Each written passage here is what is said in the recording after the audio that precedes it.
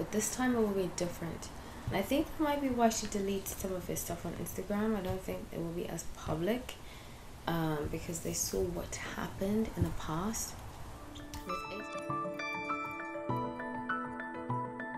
Hi everyone, welcome back to No Lie Tarot. My name is Hallie, so grateful to have you all. This is a channel about whole topics through a tarot perspective. It's not meant to be negative gossip, so if you take it that way, this is not the channel for you.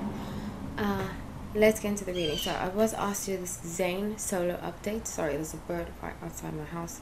I live amongst a lot of trees, so it's like probably why. Anyways, let's get into it. Zayn Malik update. You know, I was thinking, I was like, isn't his last name Malik?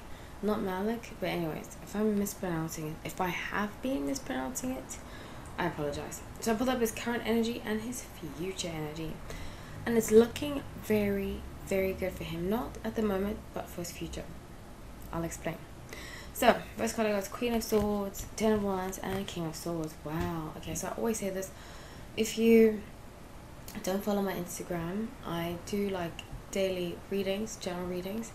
And I always say this in my general readings that the opposite of the same sign, like King of Swords, Queen of Swords, uh, maybe not same sign, but like same uh, pairing, Queen of Cups, King of Cups, that's usually soulmate. And I feel like they want to move closer to each other, he and Gigi. I just feel strongly that this is a soulmate connection and that they're going to end up back together.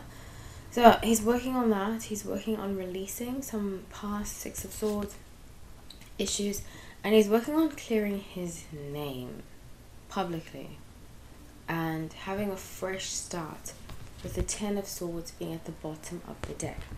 So with the future, the Empress, Ten of Pentacles, and the Devil.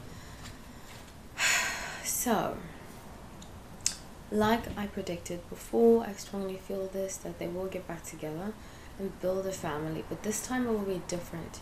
And I think that might be why she deleted some of his stuff on Instagram. I don't think it will be as public um, because they saw what happened in the past.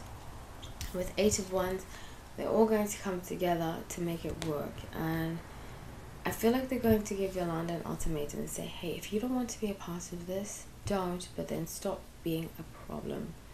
So with the world, great things are coming into fruition for him because he's doing the work and it's good.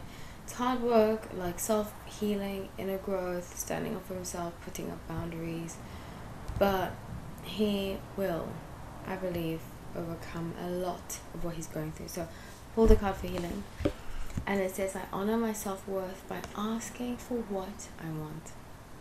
Wow, amazing! So you know, that's very true for all of us. So I love you all. Please comment below. Take care.